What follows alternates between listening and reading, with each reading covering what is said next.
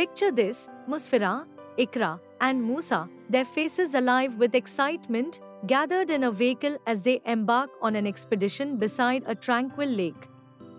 The vehicle cruises along the shoreline, the trio of young adventurers entranced by the serene beauty surrounding them.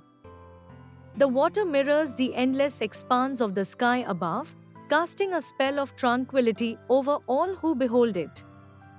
As the journey progresses, the vehicle becomes more than just a mode of transportation, it becomes a vessel for dreams and aspirations.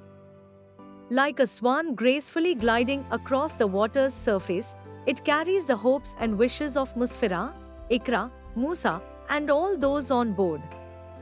Each ripple in the water tells a story, reflecting the boundless possibilities that lie ahead.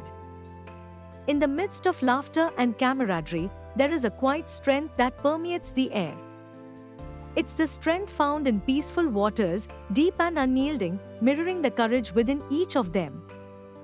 With each passing moment, the horizon beckons, urging the adventurers to push onward, to chase their dreams with unwavering determination.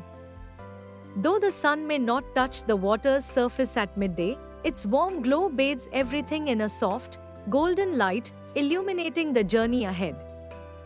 In this moment, imaginations soar like birds in flight, free from the constraints of doubt and fear.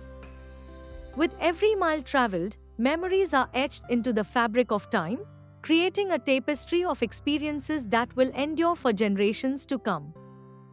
As the journey draws to a close, Musfirah, Iqra, and Musa are left with a profound sense of fulfillment, knowing that they have embarked on a journey of discovery and self discovery. For in the end, it's not just about reaching a destination, it's about the journey itself and the lessons learned along the way. No matter where life may take them, they will always cherish the memories of this timeless journey.